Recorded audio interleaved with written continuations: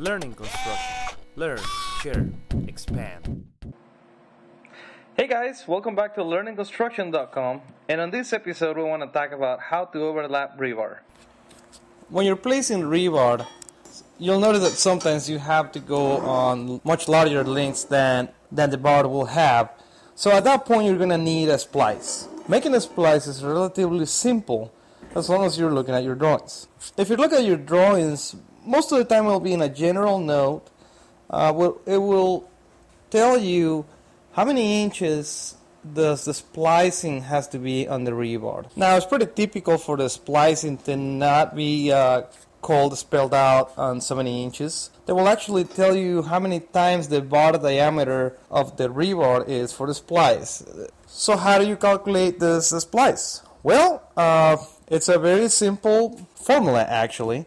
It's typically uh, a number of times the diameter of your bar. So for example, as you can see in this video right here, I have a number 5 rebar, which is 5 eighths, and on the drawings they want 48 times the bar diameter. So you multiply it 48 times 5 eighths of an inch, and that will give you the, the length. Then the next thing that you need to know is um, you, the, the drawings will tell you if the splice is on each bar, which is very typical to go on each bar. Okay, well once you splice the rebar, don't forget that you want to tie it in.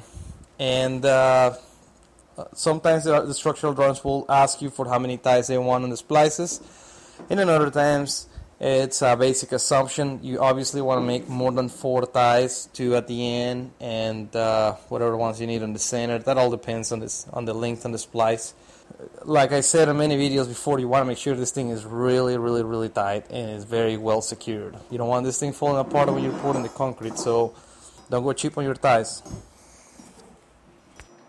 Well, I hope you guys liked it, and uh, it was a pretty good video for you. Uh, if you guys have any questions or comments, don't forget to put it in the box below, and uh, don't forget to check out learningconstruction.com. Thank you guys. Bye.